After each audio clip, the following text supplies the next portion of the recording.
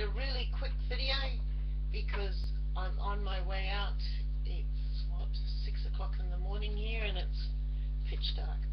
So I'm out walking the dog, and then hopping into a car and going to a market for the day. I am having a digital detox.